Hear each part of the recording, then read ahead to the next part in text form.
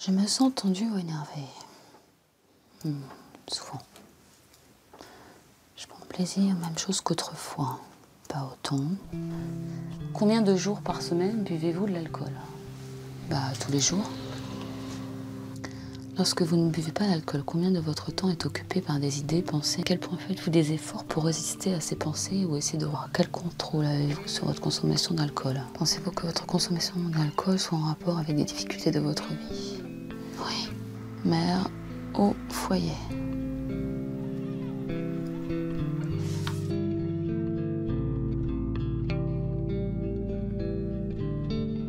Le baclofène, c'est un médicament qui est utilisé pour traiter les contractions musculaires, mais il pourrait aussi permettre le sevrage des alcooliques car il On l'utilise normalement pour soulager les crampes et les This is a truly fascinating question about a deeply serious epidemic. Soigner l'alcoolisme. Guérir purement et simplement la dépendance par un médicament Cela semble aujourd'hui possible. Le baclofène, c'est le nom de cette pilule miracle qui aurait pour vertu d'atténuer l'envie de boire et même de la faire totalement disparaître. Cette découverte inopinée a pris de court le monde médical. Dans plusieurs pays, le baclofène fait débat. Autour de 30 ans que je, je voyais des alcooliques, des gens qui avaient des problèmes d'alcool, et j'avais jamais eu une molécule qui marchait comme ça. C'est certainement pas avec une molécule qu'on pourra la faire disparaître. Nous n'avons pas le droit de dire que c'est le seul et unique médicament. On le prend une fois et tout est oublié. Cela ne peut pas marcher comme ça. Le baclofène rend indifférent à l'alcool, ce qui est quelque chose de parfaitement nouveau. Et le baclofène correspond à cette demande contemporaine d'une médecine qui débarrasse du symptôme, mais qui ne va pas forcément en, profondeur. Prudente, les agences sanitaires n'autorisent pas encore sa prescription aux personnes alcoolodépendantes. Pourtant, il y a urgence.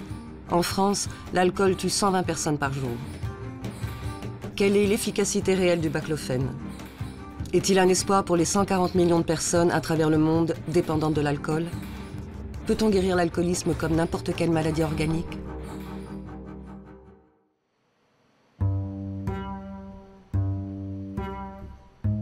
Le baclofène est loin d'être un nouveau venu sur le marché pharmaceutique. Dès les années 70, on le prescrit aux malades atteints de sclérose en plaques dont il soulage les contractions musculaires. Mais son histoire prend un tour singulier dans un petit laboratoire de Sardaigne à la fin des années 90. Le professeur Giancarlo Colombo étudie l'efficacité d'un médicament contre l'addiction dont le composé chimique est proche du baclofène. Il lui paraît alors intéressant de comparer l'effet des deux molécules.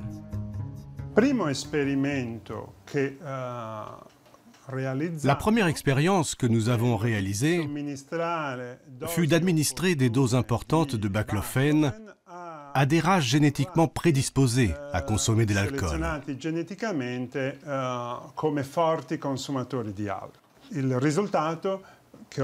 Le résultat que nous avons obtenu suggérait que le baclofène était efficace pour réduire la consommation d'alcool élevée de ces rats.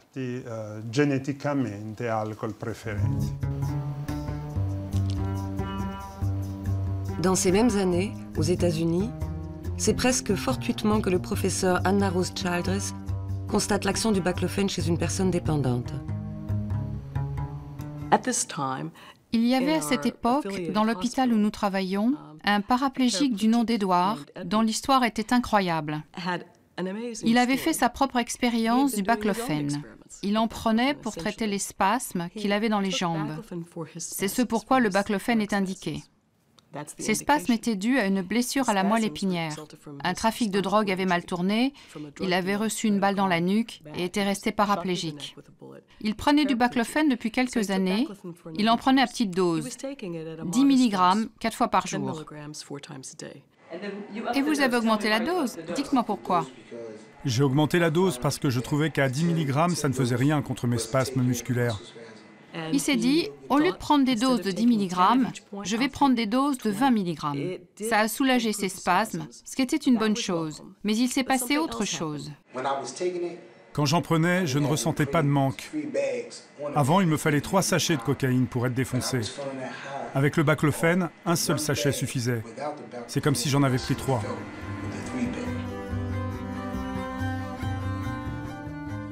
Le professeur Childress fait état de sa découverte dans un article du New York Times paru en 2000.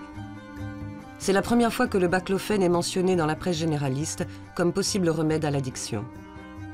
L'article retient l'attention d'un médecin français, cardiologue installé à New York, le docteur Olivier Ameisen, qui lui-même cherche désespérément à guérir son alcoolisme. Tous les jours, je regardais sur Internet et il n'y avait pas de traitement. Je les ai vus passer les uns après les autres, après les autres, après les autres. Et après, je suis tombé sur le baclofène qui m'a beaucoup plu. Pourquoi?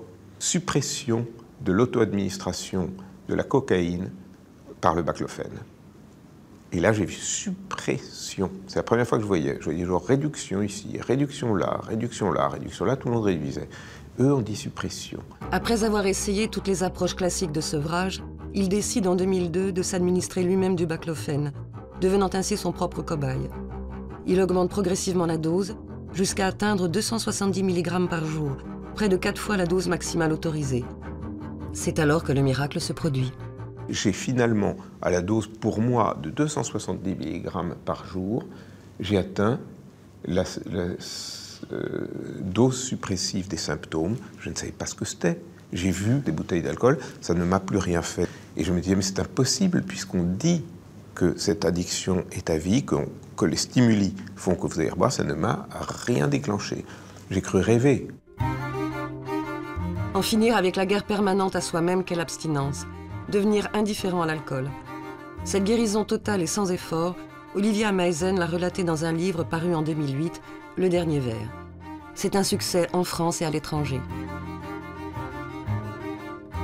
Malgré son témoignage et les quelques études scientifiques réalisées dans différents pays, la communauté médicale reste sceptique. Il faut attendre 4 ans pour que, sous la pression des patients et des médias, soit lancé un véritable protocole clinique c'est l'étude Bacloville. Donc il y a 69 médecins investigateurs répartis dans 59 centres, donc euh, à Lille, on l'a déjà présenté. Il s'agit du premier essai d'envergure qui vise à tester, avec l'aval de l'Agence du médicament, l'efficacité du baclofène dans le sevrage alcoolique. 320 patients y participent. Donc on pourra après étudier tout ça. L'étude est conduite par le docteur Philippe Jory, un des premiers prescripteurs du baclofène. 30 ans plus tôt, il avait participé au combat pour l'usage de la méthadone, substitut à l'héroïne. Je me rappelle, euh, dans les années 80, prescrire 80 euh, comprimés euh, de thèmgésique sur une ordonnance par jour. Donc ça ne me dérange pas de prescrire 30 baclofènes. C'est beaucoup moins que 80 thèmgésiques. Où j'étais considéré comme un dealer en blouse blanche et comme un criminel aussi. En région parisienne, une dizaine de médecins participent à l'étude Bacloville, Chacun dans leur cabinet respectif recevront les participants lors de consultations mensuelles. La méthode est celle du médicament contre placebo. Ce n'est qu'au bout d'un an, lors de la levée d'un su, que médecins et patients découvriront la vraie nature des comprimés. Lors de la période d'imprégnation classique d'alcool, vous m'aviez dit que vous étiez, c'était surtout du whisky. C'était que ça, j'aime que ça. Que ça, d'accord. Donc le whisky, on avait dû, c'est 1 à 3 verres par jour ou 3 euh, Non, c'est 2 à 3. Bon, 2 à 3. Donc on va être. Euh, Mais pas, sur, pas sur un baby. Hein. Non, non. Ah, d'accord, c'est-à-dire Bah non, parce que le baby, en fait, je suis.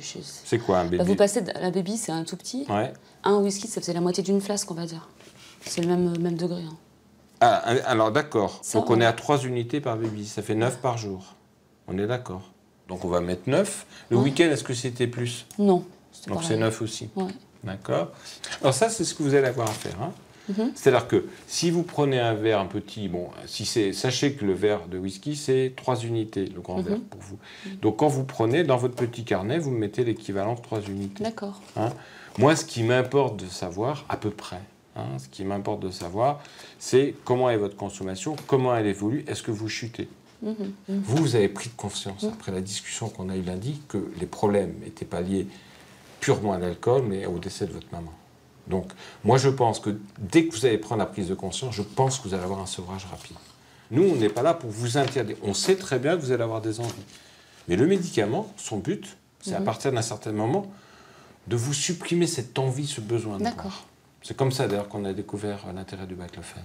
Hein, c'est un médecin qui a pris du baclofène et qui s'est rendu compte à partir d'une certaine dose qu'il il avait plus envie de boire, hein, ce besoin que vous avez de boire. Mhm. D'accord? La date de dispensation, c'est aujourd'hui. La visite, c'est la visite 1. Pourquoi on fait cette étude? C'est surtout parce que je pense que ça va apporter la preuve euh, que le baclofène, euh, à haut dosage, permet de sortir les gens d'une souffrance phénoménale qui est leur problème d'alcool. Parce qu'en fait, avec l'alcool, ils soignent leur malaise. Pour moi, ils soignent leur souffrance quelque part. Et puis, ils tombent dans le piège après. C'est-à-dire qu'il y en a qui vont devenir dépendants, d'autres qui ne le seront pas. Mais après, il y a la molécule qui détruit. Mais au départ, souvent, souvent, il y a une souffrance qui est soignée par le médicament alcool. L'alcoolisme, bien sûr, c'est une consommation excessive d'alcool. Et une consommation excessive d'alcool dont les personnes euh, n'arrivent pas euh, à se séparer. Donc c'est une dépendance.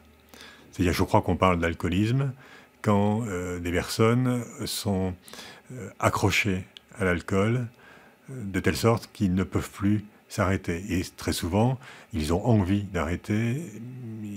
Tous les matins, ils se disent, allez, aujourd'hui j'arrête, mais c'est impossible. Comment définir la dépendance à un produit en vente libre, consommé et apprécié par une grande partie de la population?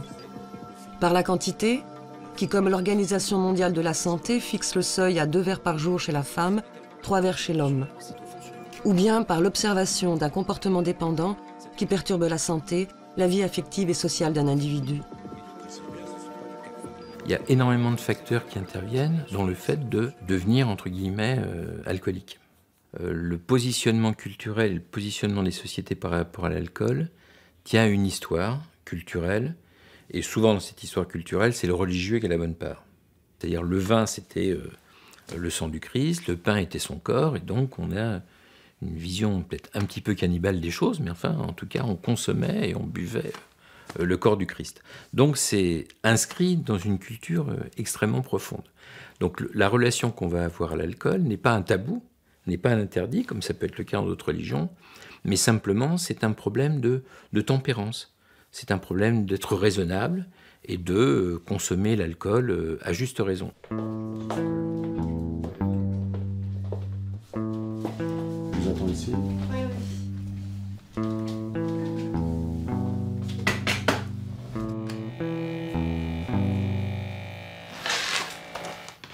160, 101.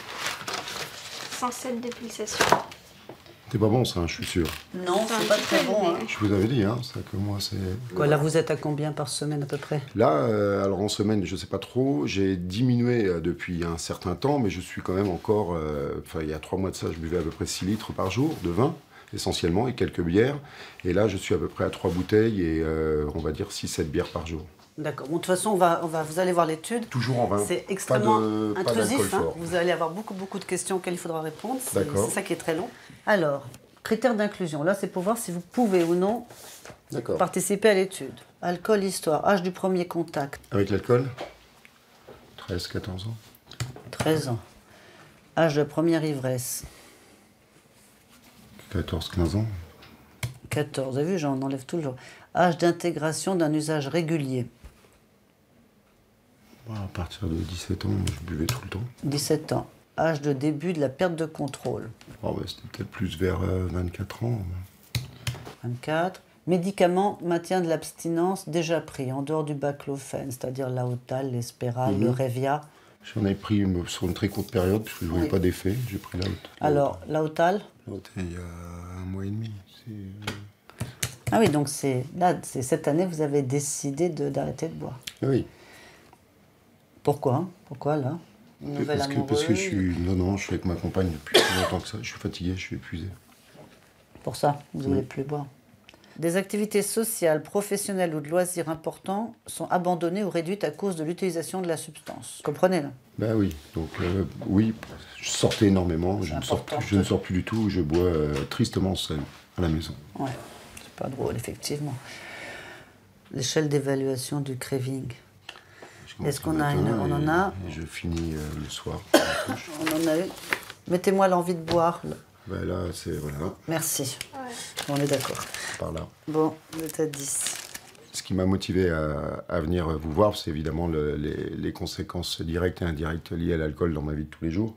Et donc, j'aimerais pouvoir ne pas être frustré jusqu'à l'instant de mes jours, de continuer à avoir des relations sociales, euh, familiales avec des amis, de boire un verre sans, sans avoir en- envie d'en boire euh, des centaines par la suite. On va voir si vous avez le placebo. On sait qu'il y a 20% de réussite avec le placebo, en général. Le baclofène, On espère qu'il y en a davantage. On va voir où, vous êtes. Si on se rendait compte, je pense, au bout de six mois, qu'il y a la moitié des gens qui boivent plus du tout et l'autre moitié qui boit trois fois plus, je pense qu'à ce moment-là, pour des raisons éthiques, il y aurait une levée d'insu. Si, ça, si c'était comme ça, à ce point de mmh. différence.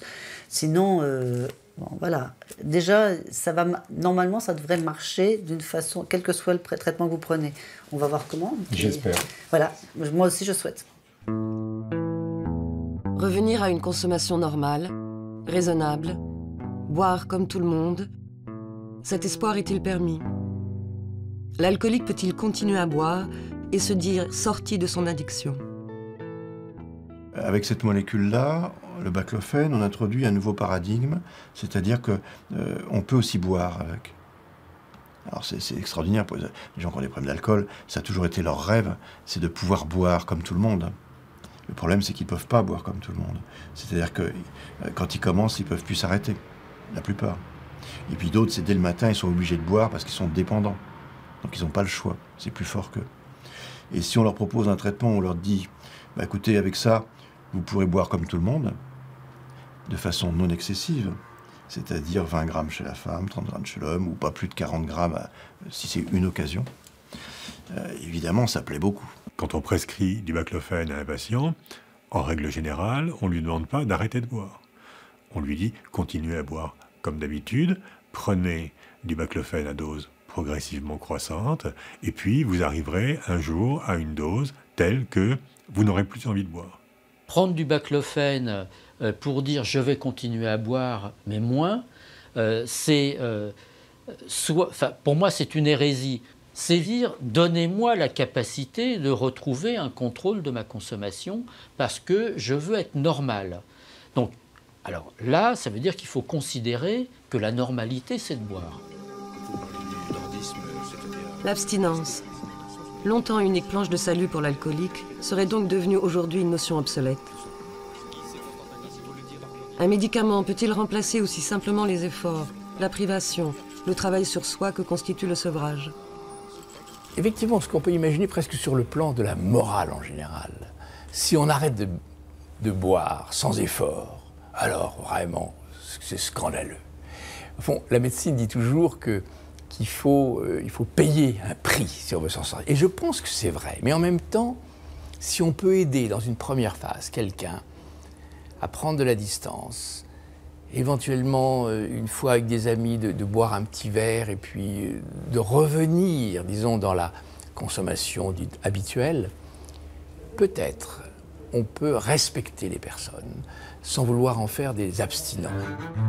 Dans plusieurs pays, comme l'Allemagne, la polémique fait rage. Bonjour mesdames et messieurs, bienvenue au débat pour ou contre le baclophène. Tous les patients arrivent à être abstinents pendant plusieurs mois et tous rapportent une réduction de leur craving. D'une manière générale, la tolérance est bonne. Deux tiers de ces patients qui prennent du baclofène, un médicament non autorisé ici et non vérifié, n'ont encore jamais fait de tentative de sevrage. Ici, le baclofène est très peu prescrit. Comme tout médicament que l'on veut détourner de son usage initial, il suscite la méfiance de la communauté scientifique. L'abstinence reste le dogme absolu quand on parle de sevrage alcoolique. Je trouve qu'il y a un problème avec le baclofen. Ce médicament n'est justement pas associé à l'idée d'être abstinent et de ménager ainsi un corps déjà abîmé par l'alcool. Au contraire, le baclofen, tel que le vend M. Amezen, est associé à l'idée de je veux continuer à boire, ou je veux boire de temps en temps, ou je veux arriver à boire un peu moins. Ce n'est absolument pas le cas avec les autres médicaments où l'objectif est d'arrêter de boire définitivement. Et en tant que médecin, je trouve aussi que cela doit être notre objectif principal. Nous avons là des patients qui sont déjà abîmés par l'alcool et ne tolèrent même plus de petites quantités. Peut-être que leur foie va se détériorer plus lentement, mais il va continuer de se détériorer. En tant que médecin, il faut alors conseiller de ne plus boire d'alcool du tout.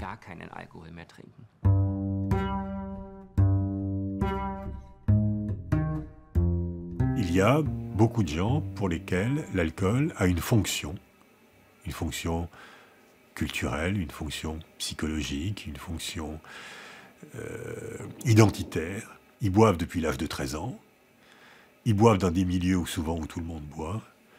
Ils boivent ou dans, dans un contexte culturel où l'alcool est valorisé. Les privés d'alcool, c'est les privés d'une partie d'eux-mêmes et ils n'y arrivent pas.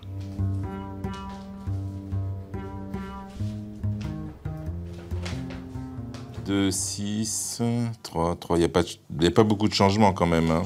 Alors, il y a un pic de pollution, on va dire, au début de la semaine. C'était mon anniversaire. Bon anniversaire. merci. Et bon, j'ai beaucoup de gens qui sont passés. De pollution alcoolique, vous voulez dire Mais autrement, vous êtes pas mal quand même, là, le samedi, non, dimanche. Je dis, moi, je veux je cherche pas à être abstinent hein, non plus. Bah, je, me, je me sens pas alcoolique. Bah ouais, mais quand même. euh, Je me sens pas alcoolique. Malgré tout, il y a quand même une consommation régulière qui est un peu trop importante.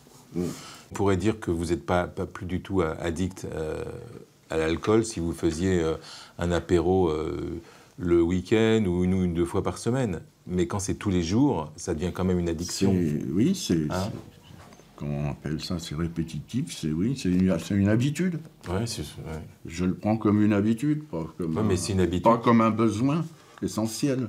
Parce que si vous regardez mes carnets, il y, a des- y, y a jours là où euh, je m'en passe très facilement. C'est, je, pas, c'est, c'est pas fréquent quand même. Hein. Il y a, les- il y a- il y a deux jours. Ben, euh, là, Ah, alors, non, mais là, là, j'ai, fait- j'ai scoré là. hein. alors là, ouais, là c'est, là c'est très bien là. Mais on aurait dû rester comme ça alors. Ouais. Pour moi, par rapport à avant, quand je, je travaillais, c'était pas. euh, c'est peu, c'était peu. Quand vous travaillez avant. Parce que quand je travaillais avant, Mhm. euh, on mangeait à 5 ou 6 au, restant- au restaurant tous les jours. Et puis bon, ben, il y avait peut-être 5 ou 6 tournées qui tombaient.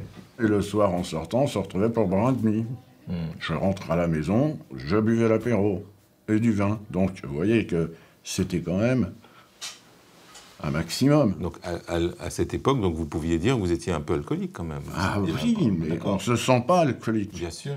On se sent pas alcoolique. Je suis désolé. J'ai même demandé au voisin de me tenir la porte pour mettre la clé dans la serrure.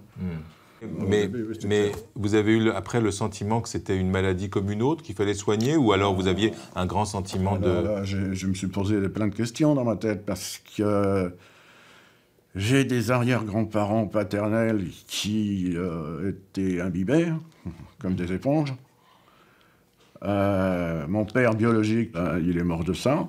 Euh, ma mère a été malade et puis ben, pour soutenir sa maladie, ben, elle se laissait aller à- au whisky et tout ça parce qu'elle a des difficultés respiratoires. L'alcool, c'est quelque chose, ça peut être culturel, c'est-à-dire qu'on a vu ses parents boire, on a vu ses, grands-parents boire, et, et donc on peut aller peut-être plus facilement dans la consommation d'alcool. Mais c'est pas du tout héréditaire.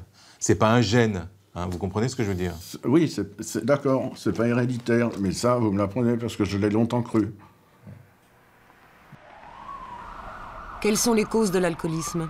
Peut-on le définir strictement comme une maladie, avec ses origines, ses symptômes, son épidémiologie? Jadis perçu comme un fléau social et une faiblesse morale chez l'individu, l'alcoolisme est aujourd'hui combattu avec les armes de notre époque, en particulier les neurosciences. La propension à boire de certaines personnes s'expliquerait par un dysfonctionnement neurologique. Les neurosciences ont été très utiles pour nous aider à démontrer et à comprendre que l'alcoolisme est un trouble médical chronique.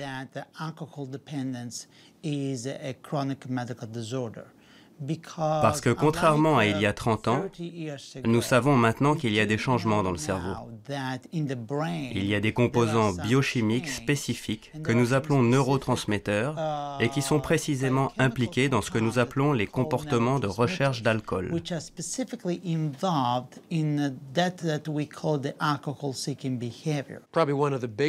Une des avancées les plus révolutionnaires des années 50 fut sans doute de découvrir que le cerveau possède des structures associées à la récompense. Si ces systèmes cérébraux sont activés, un individu peut se sentir récompensé, renforcé. Et nous pensons que ces systèmes expliquent en grande partie pourquoi nous, en tant qu'êtres humains, nous adoptons certains comportements. Ainsi, une des découvertes majeures dans la recherche sur l'addiction a été de comprendre que les drogues addictives activent ces systèmes. Elles activent le système de récompense dans le cerveau et le neurotransmetteur dopamine est la molécule qui joue un rôle clé. Si on prend une drogue comme de l'alcool, de la cocaïne ou de l'opium, cela active le système dopaminergique du cerveau en déclenchant un signal de récompense. Alors, immédiatement, le cerveau dit ⁇ J'aime ça ⁇ L'alcool favorise donc la libération de dopamine dans notre cerveau. La dopamine est le neurotransmetteur qui active notre système de récompense, nous procurant bien-être et soulagement. Mais ce plaisir lié à l'alcool, tout le monde peut l'éprouver sans pour autant être alcoolique. D'où vient alors le phénomène de dépendance? Pour une personne qui va boire et obtenir une forte réponse de récompense, une autre personne en aura une très faible. Si quelqu'un éprouve une forte réponse de récompense, il risque alors de continuer à boire davantage et de développer une addiction. Cette différence d'intensité de la récompense nous rendrait donc inégaux face à l'alcool. Dans le cerveau d'une personne alcoolique, la dopamine est libérée à la seule vue de l'objet, par exemple un verre d'alcool. Ce phénomène s'appelle le craving, une irrépressible envie de boire. C'est là qu'interviendrait le baclophène. Comme relaxant musculaire, il agit en inhibant les neurones responsables de la contraction involontaire des muscles. Ce faisant, il inhibe aussi les neurones du système dopaminergique. Le système de récompense est donc bloqué, le craving disparaît.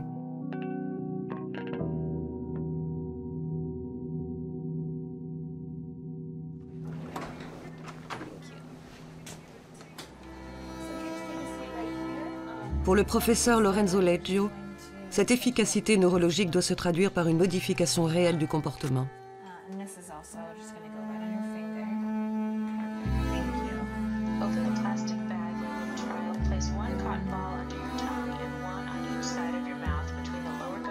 Il décide de mener une expérience in vitro.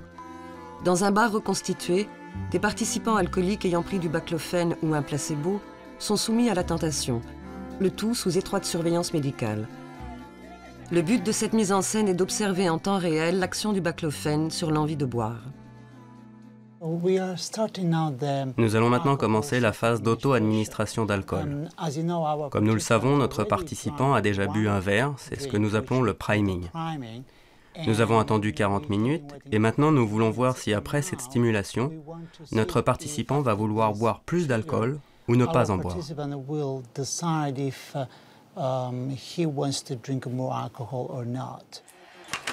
Um, Voici quatre verres et comme nous vous l'avons dit, chacun vaut 3 dollars. Donc pour chaque verre que vous ne buvez pas, vous recevez 3 dollars en compensation. Nous utilisons un modèle bioéconomique, c'est-à-dire avoir le choix entre boire de l'alcool ou recevoir de l'argent. Nous allons évaluer le craving d'alcool toutes les demi-heures. Nous allons aussi faire des prises de sang pour évaluer les hormones de stress et examiner comment répond notre participant en termes de stress et surtout voir si le médicament que nous étudions, le baclophène, comparé au placebo, va réduire le stress lié à la consommation d'alcool.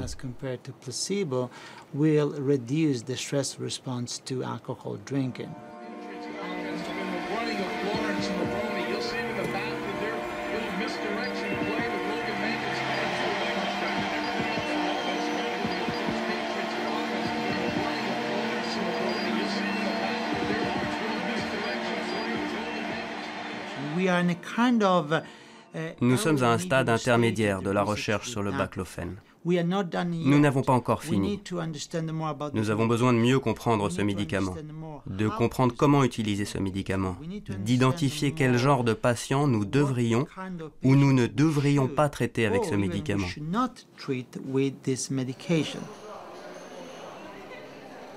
S'en remettre uniquement aux médicaments pour soigner l'alcoolisme, c'est aussi minimiser d'autres causes, l'impact du vécu, du contexte affectif et social.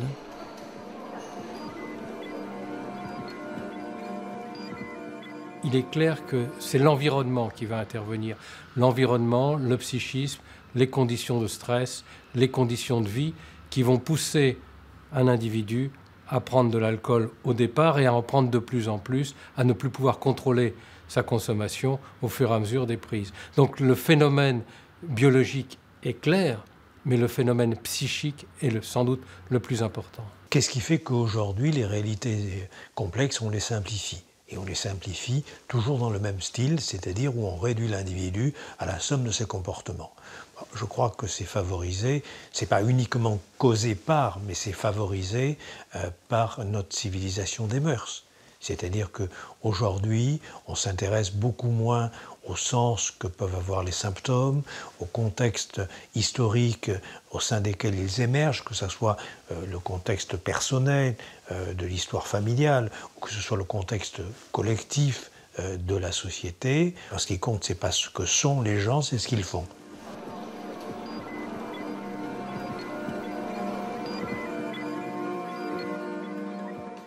Alors, vous avez bonne mine. Hein oui.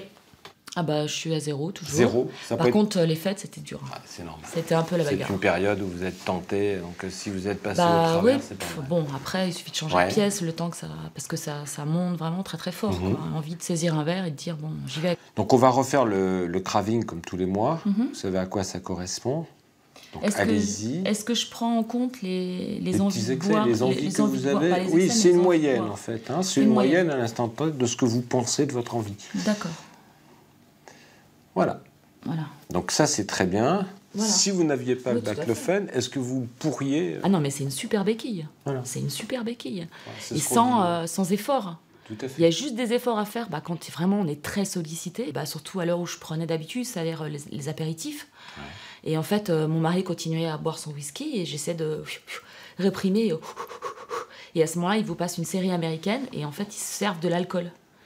Et là, c'était euh, c'était la cata, quoi. Je me disais, mais c'est pas possible, quoi. Je suis, je suis, en- je suis encerclée, là. C'est incroyable. découvrir une réalité. Ah oui, c'est incroyable. C'est comme quand on est à l'école, quand on découvre un nouveau mot, on le voit partout, on l'entend partout, quoi. Du coup, quand on boit, ça dévulgarise parce qu'en fait, on se dit, après tout, je suis pas toute seule. Étiez motivé pour Ah bah, arrêter de boire. de toute manière. Mais ça, c'est C'est pas- ce qu'il y a de plus important. Donc on va refaire une distribution en date d'aujourd'hui, Mhm. d'accord D'accord. Et on reste toujours aux mêmes doses, hein, D'accord. 3 x 7. Hein. Mm. Non, mais c'est bien. Moi je suis impressionné. Hein. Mais euh, non, non, puis tout, je- euh, je- ça me rend plus, plus zen aussi pour d'autres choses. euh. Les enfants se rendent compte quand même que vous avez changé ou pas? Vous en avez parlé un peu aux enfants? Oh non, j'en ai pas parlé, mais euh, oui, oui, ils se sont rendus compte que j'étais plus, plus zen, justement. Imaginez par exemple que demain, vous me dites, bon bah voilà, on réduit les doses et puis on s'arrête. Ouais. D'accord? Alors, je sais pas si ça sera faisable ou pas. Mais qu'est-ce qui va se passer à ce moment-là? Est-ce que je vais pouvoir à nouveau boire? Est-ce que je vais, à partir du moment où, euh, où je vais, est-ce que je vais recommencer à boire? Est-ce que j'aurai à nouveau envie de boire? Est-ce que je vais à nouveau déprimer? C'est en que- fait la raison de ce protocole et du suivi qu'il va y avoir derrière. Donc vous allez avoir un protocole, ce protocole il dure un an. Hein?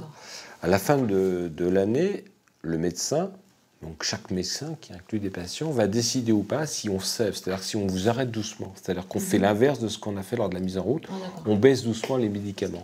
Si à partir d'un certain temps, au moment du sevrage, on se rend compte que vous recommencez à boire, on peut recommencer le plateau et là on sait qu'il faudra qu'on reste un certain temps sous traitement. Si par contre vous êtes complètement sevré, on peut revenir à zéro. Que se passe-t-il après le baclofen? Ces doses massives censées délivrer le patient de l'alcool ont-elles créé une nouvelle dépendance?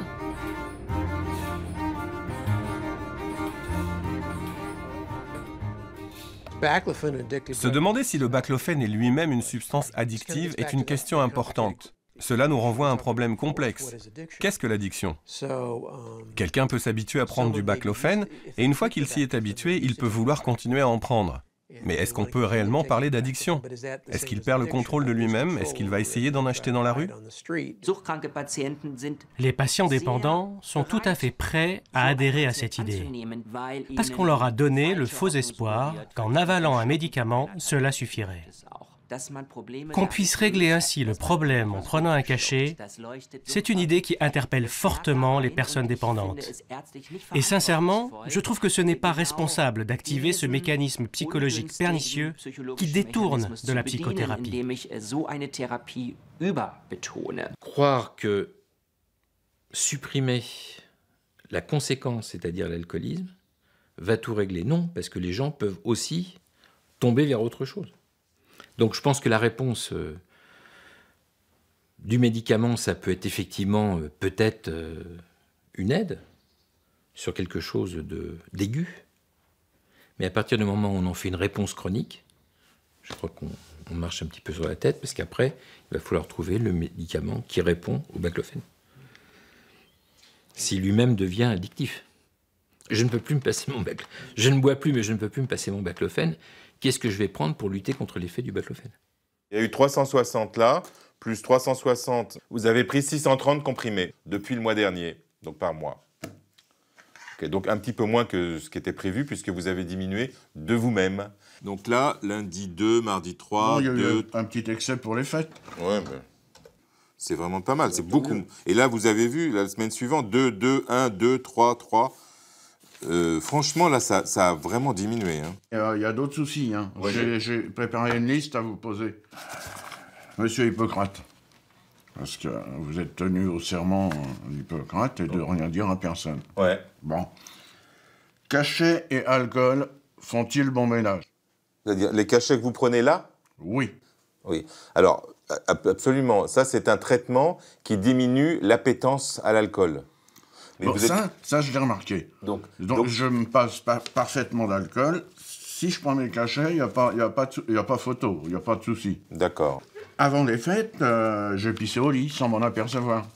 Est-ce que c'est dû au cachet? Est-ce que c'est dû. Euh, est-ce que les cachets m'assommassaient pour que je pisse au lit sans m'en apercevoir? Ça correspond aux médicaments. Ce sont les médicaments qui vous entraînent ça. Donc, moi, ah, je, donc, je peux m'attendre encore à voir ces. Euh, non, vous pouvez pas vous attendre à ça parce que j'ai pas envie que ça recommence. Moi, j'ai envie qu'on diminue les médicaments. D'accord. Mes délires sont-ils normaux? Sont-ils dangereux pour l'entourage du patient? Est-ce que je peux devenir violent? Non, je crois pas. Au niveau sexe, que donne D'accord. C'est peut-être aussi les médicaments. Ça, j'ai pas vérifié. Mais... J'ai pas fait.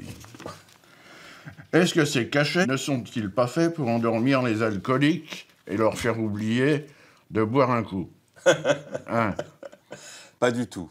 Bah, pendant les fêtes, nous étions chez mon père. J'ai dormi 19 heures sur 24. Ouais, pas mal. C'est trop. Euh, mon père, il était fou, là. Mm. Il a engueulé ma femme en disant Mais oh, ça va pas, faut l'emmener chez le médecin. Mm. C'est pour ça que c'est pas mal de diminuer les comprimés. Donc, on va descendre à 4.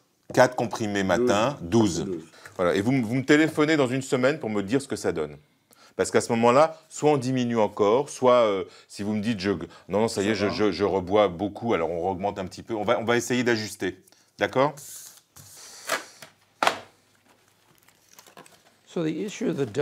La question de la dose du baclofène est très importante. Le principal effet secondaire du baclofène est qu'il agit comme sédatif. Donc, les gens peuvent se sentir somnolents, un peu ralentis ou dans les vapes. Ce que vous pouvez imaginer, c'est que si vous prenez un médicament qui a un effet sédatif et que vous l'associez à l'alcool, alors vous combinez deux substances sédatives. Mais d'un autre côté, nous savons qu'en pharmacologie, si on ne prend pas la dose adéquate, on risque de ne pas atteindre totalement l'effet voulu. Donc je pense que c'est important d'étudier les doses plus élevées, seulement nous ne savons pas quelle est la dose adéquate et jusqu'où on peut aller. Il est évident que le baclofène n'est pas actif à la même dose chez tout le monde. C'est-à-dire, on pourrait dire que chacun a sa dose. Ce qui est très très curieux, ce qui est assez, assez inhabituel euh, dans la pharmacopée avec l'utilisation des médicaments. Et c'est imprévisible. Donc l'attitude consiste à augmenter progressivement les doses jusqu'à euh, ce qu'une indifférence à l'alcool survienne. On est dans l'empirisme le plus complet et euh, on aimerait pouvoir en sortir pour avoir, je une prescription, raisonnée pour ne pas mettre son patient en danger.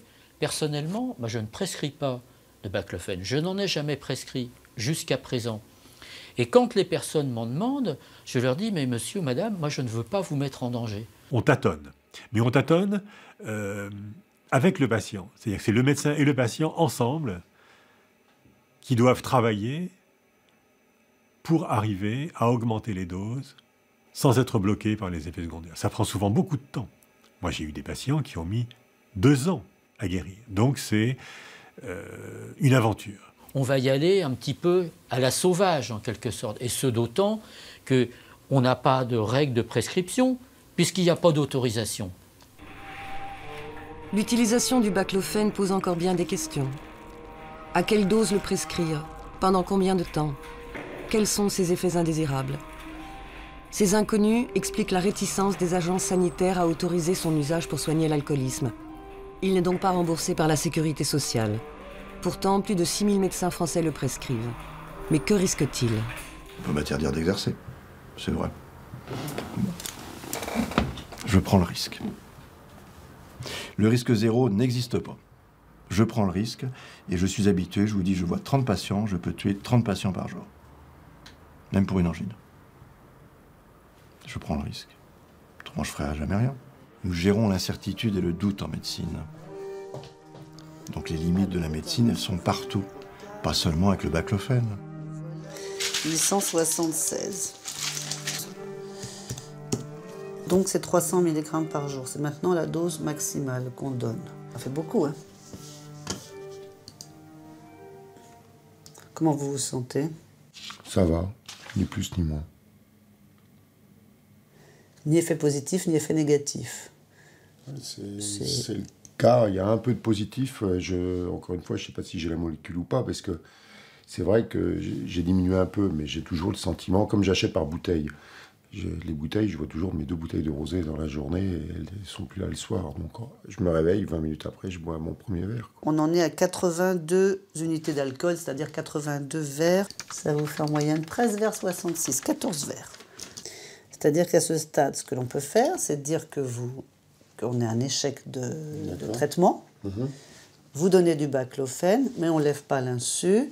Et on attend la fin de l'année, la fin de l'étude, pour lever l'insu, pour savoir ce que vous aviez pour notre étude. Ah, pour jusqu'à maintenant savoir ce que j'avais comme molécule.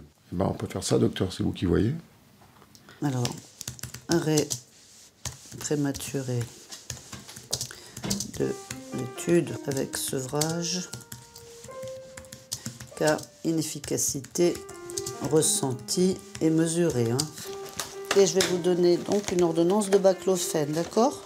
Très bien. Trois comprimés, matin, midi et soir. Midi, soir.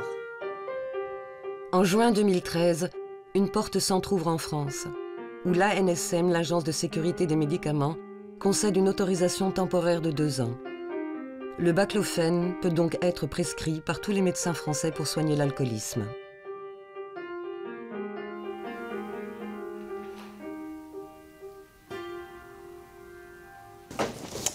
Alors, 0 à 0,54 12. Donc je suis à 294 comprimés là. 294.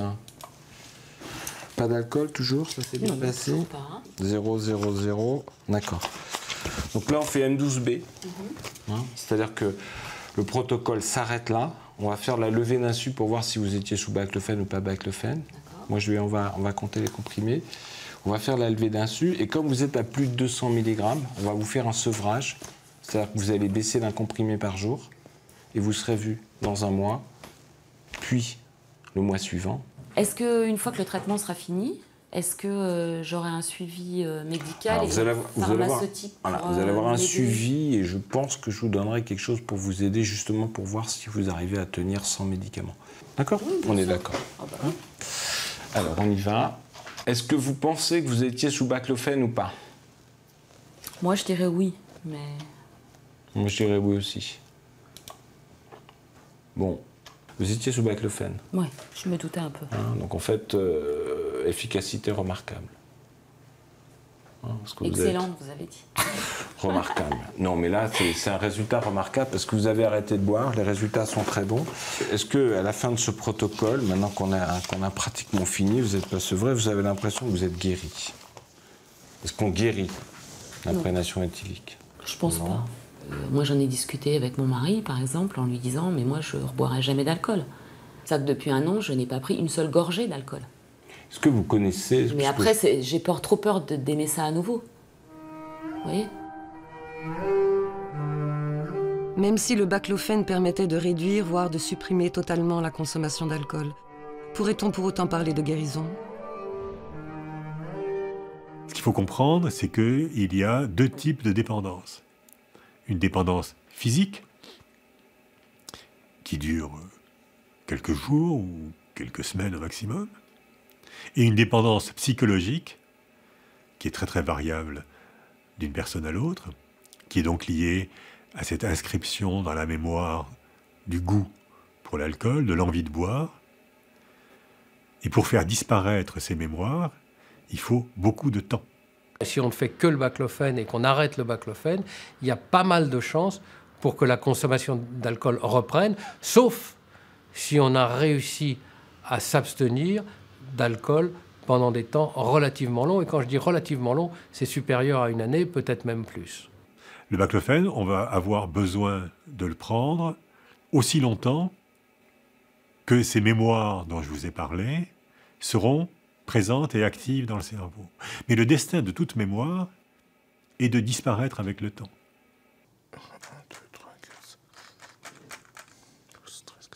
Là, on est à deux comprimés matin, midi, et, soir. Et là, comme ça, vous n'avez plus du tout d'effet secondaire. Ah non, non, non. Et vous, vous avez le sentiment que vous buvez moins. Tout à fait.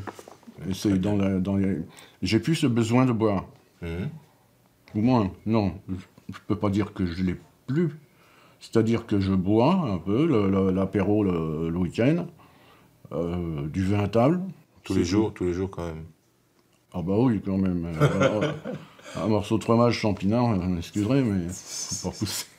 Bon, vous prenez quoi, un verre de vin? Oui, un ou deux. Un ou deux Un ou deux le midi, un ou deux le soir. Voilà. Mais pas d'apéro tous les jours Non. D'accord. Donc c'est quand même une grande diminution par rapport à ce que vous faisiez. Tout à fait. Et vous vous sentez mieux Mais bien sûr, je, me, je, je maigris. Je... D'accord. Question à poser à votre patient. Selon lui, quel était le traitement qui lui a été prescrit pendant l'étude? Moi, ça ne m'a pas réussi, c'était trop fort. Oui. Donc il est possible que ce soit du. Enfin, le médicament. Le médicament. Vous ne pensez pas que c'est du placebo? Je crois pas. Hmm. Des fois, euh, quand on fait des études entre le placebo et le, médicament, ben on se rend compte que dans 40% des cas, le placebo a une action extrêmement forte. En même temps, compte tenu des effets confusionnels que vous avez eus, qui sont décrits un peu dans les, dans les effets du, du, médicament, j'imagine que c'est le, le baclofène que vous avez pris. Donc je vais cliquer, là, euh, ça s'appelle une levée de l'insu. Alors, donc, alors la surprise, vous imaginez, c'est du placebo que vous prenez. Du placebo? C'est vraiment ce qu'on appelle l'effet placebo, quoi. C'est-à-dire la complexité de la nature humaine. Dans, dans, le placebo, vous m'avez dit une fois qu'il y avait euh, quand même une part de médicaments actifs. Pas du tout. Bien sûr? Mais euh, jamais, c'est impossible. L'effet placebo, c'est de la poudre de perlimpinpin qu'il y a dedans. D'accord. enfin, c'est quand même incroyable. Moi, je suis surpris quand même. Mais bon, ce qui prouve toute cette réduction de l'alcool que vous avez effectuée, c'est uniquement par votre, par votre volonté, par, par, cette prise en charge qu'on a eu tous les deux en, commun par rapport à l'alcool, qui vous a permis de diminuer la boisson. En fait, c'était pas du tout un médicament, c'est vous-même c'est vos efforts qui ont permis de cette réduction. Donc, en même temps, c'est encore peut-être une plus grande réussite, puisque vous l'avez fait sans médicaments. Euh, maintenant, savoir que c'est du placebo et tout, et puis que je me suis gendarmé tout seul, je suis content. Je suis fier de moi. Bon. Docteur. À bientôt. bah oui,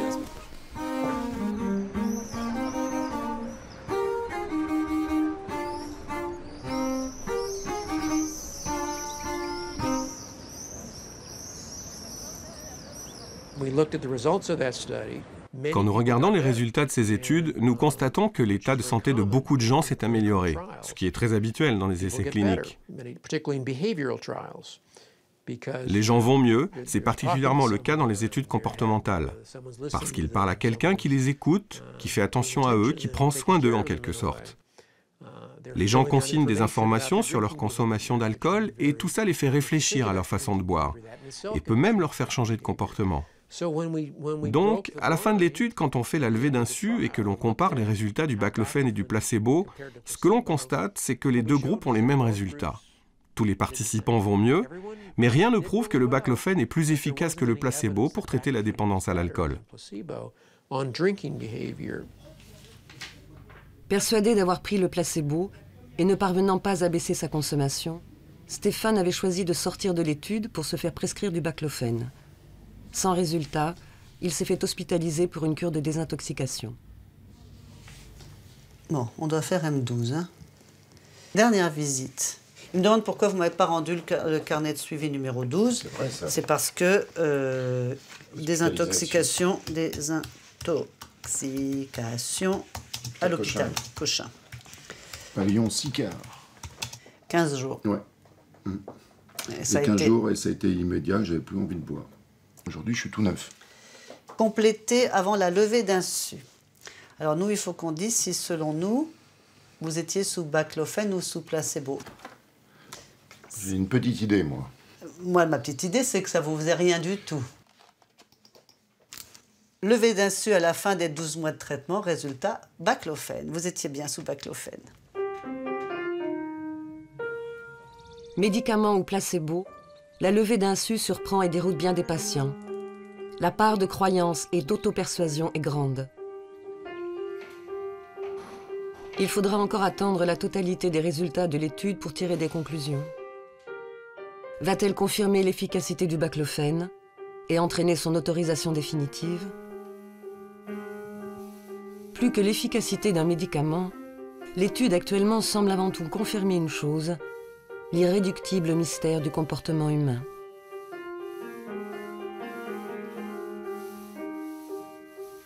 Il est vrai que la médecine du XXIe siècle, elle a une exigence, c'est la preuve, la preuve scientifique. Pour que la preuve scientifique euh, soit euh, incontournable, il faut que les êtres humains répondent de façon identique à un médicament ou à, un acte chirurgical. Or, tout être humain est différent. J'enseignais à la fin de ma vie professionnelle aux étudiants que la médecine commençait là où elle était impuissante, là où elle n'avait pas de médicaments, là où elle n'avait pas de chirurgie, là où elle n'avait pas de, chimiothérapie, de perfusion, parce que elle retrouvait sa fonction éternelle qui était de venir en aide.